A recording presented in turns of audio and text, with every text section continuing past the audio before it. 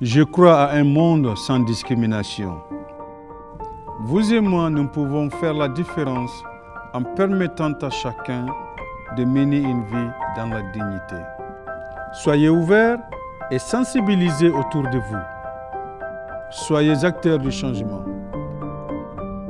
Manifestez votre soutien en montrant l'emblème du papillon.